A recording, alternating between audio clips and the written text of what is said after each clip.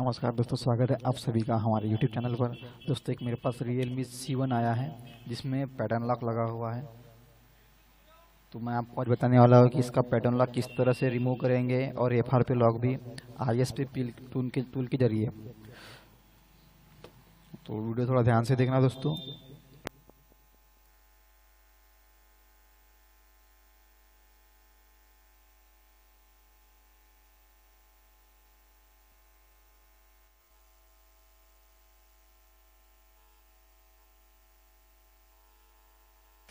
तो दोस्तों, आप देख सकते हैं, मैंने पूरी तरह से जंपर लगा दिया हूँ। आपको एक बार और ध्यान रखना है दोस्तों, यहाँ पर मैंने वी सी का जंपर नहीं लगाया है। और यहाँ पर वी वोल्टेज जो वहाँ पर मैंने डबल जंपर लगाया ताकि कोई भी प्रॉब्लम ना आए। ठीक है? अब और ग्राउंड लगा दिया मैंने हर चीज़ बराबर लगा दिया आपको दोस्तों, इस तरह से आपको इमेज लगाना है जंपर जोड़ देना है। आपको दिखाऊँगा और वीसीसी वोल्टेज कहाँ लगाना ये आपको दिखाने दिखाने वाला हूँ मैं। इस तरह से आपको जंपर लगा देना है। उसके बाद हमें चार्जर कनेक्ट कर देना है। बैटरी कनेक्ट नहीं करना है दोस्तों, बैटरी का कनेक्टर आपको अलग ही रख देना है। बैटरी नहीं, बैटरी कनेक्ट करोगे तो मोबाइल बंद हो सकता है।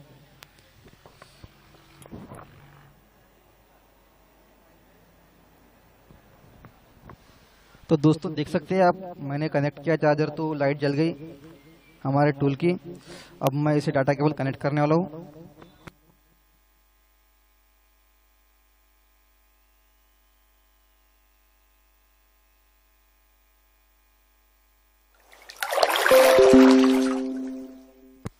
तो दोस्तों, आप देख सकते हैं हमारा टूल पूरी तरह से सक्सेस एकदम कनेक्ट हो चुका है, बढ़िया। अब मैं इसे आपको अनलॉक करके दिखाने वाला हूँ। तो सबसे पहले हमें स्कैन के ऊपर क्लिक करना है।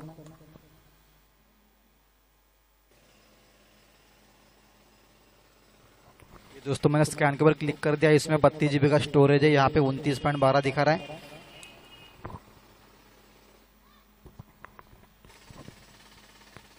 उसके बाद हमें कनेक्ट के ऊपर क्लिक कर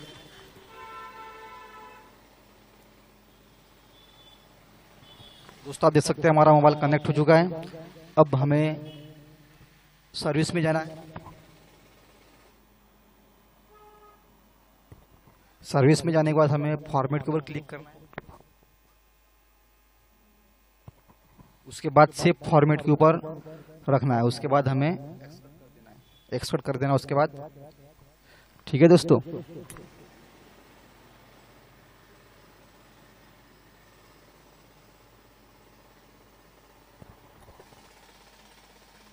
तो दोस्तों, आप देख सकते हैं, यहाँ पर सेफ़ फॉर्मेट हमारा हो चुका है। उसके बाद हमें एफ़ आर पी रिसीट भी करना है।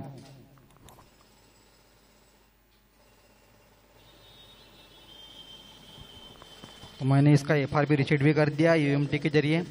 तो अब चेक करके देखते हैं दोस्तों, हमारा मोबाइल अनलॉक हुआ कि नहीं हुआ।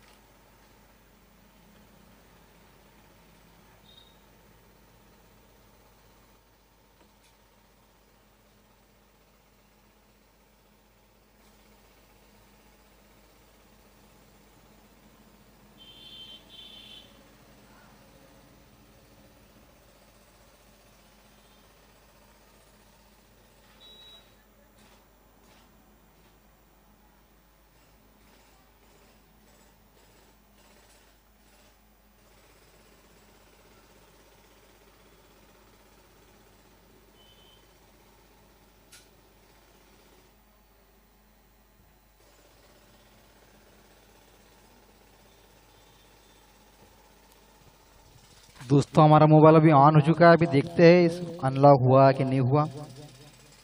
दोस्तों, अगर आपको जंपर एकदम सही लगाना है, दोस्तों, आपको बिल्कुल भी जंपर लगाने में लापरवाही नहीं करनी है। अगर आप वीसीसी उल्टे अगर गलत जगह लगा देते हैं तो आपका मोबाइल डेड हो सकता है। आप देख सकते हैं दोस्तों, हमारा मोबाइल रिसेट हो रहा है। आपको कैमरे में शायद बराबर नहीं दिख रहा होगा, सफ़ेद दिख रहा होगा। मेरा वेब कैमरा थोड़ा सा वीक है, ख़राब है अच्छा नहीं है।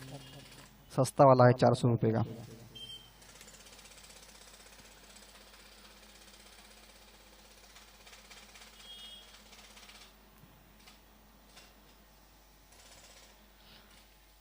और दोस्तों, अब मैंने यहाँ पर वी का वोल्टेज नहीं दिया, क्योंकि अक्सर दोस्तों वी का वोल्टेज देने के बाद इधर उधर हो गया तो मोबाइल यार डेड हो जाता है, इसलिए मैंने वी नहीं देता कभी भी।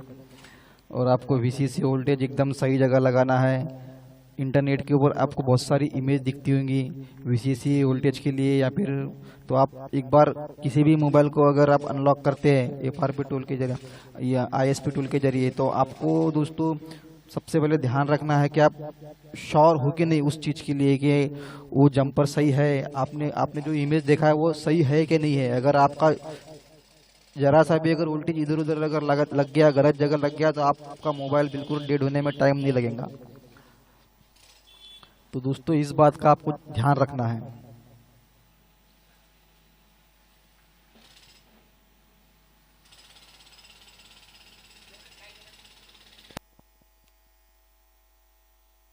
है हमारा मोबाइल ऑन हो चुका है।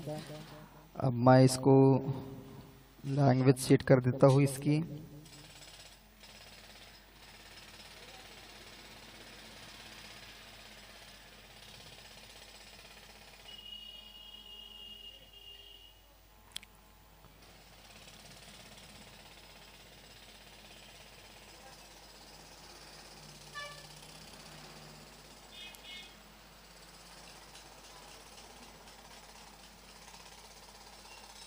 तो दोस्तों, आप देख सकते हैं हमारा मोबाइल पूरी तरह अनलॉक हो चुका है।